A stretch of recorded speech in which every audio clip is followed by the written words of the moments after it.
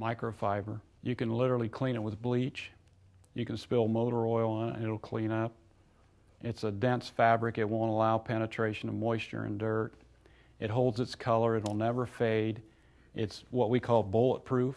The only problem is it tends to be in very um, solid color palettes, not a lot of variety. It doesn't breathe as easily as some other fabrics, so it feels a little bit warmer than other fabrics. But dollar for dollar, there's nothing that makes more sense for family usage than a microfiber.